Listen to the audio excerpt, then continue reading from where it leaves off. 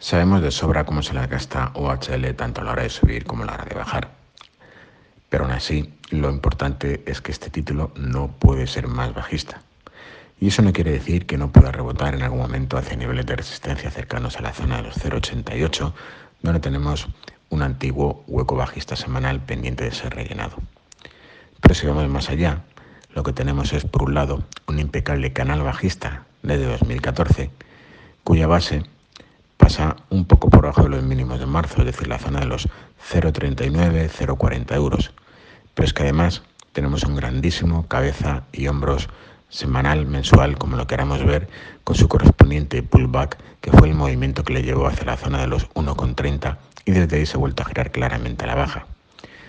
Esto quiere decir que independientemente de que podamos asistir a importantes rebotes, el título, la tendencia del título es claramente bajista.